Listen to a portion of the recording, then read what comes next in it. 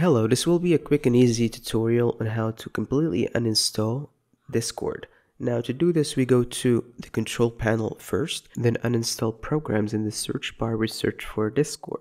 We click uninstall, it's not going to show us a progress bar, so we just for, wait for it until the icon disappears. After that we go to this PC, C drive, then users, our username, then we show hidden items if we don't have that on already or you can find it as well in the options of folder options. And we make sure that this one is checked. So then this app data folder will be shown. We go to the local inside it. Then we find discord. We delete this folder right here. We go back.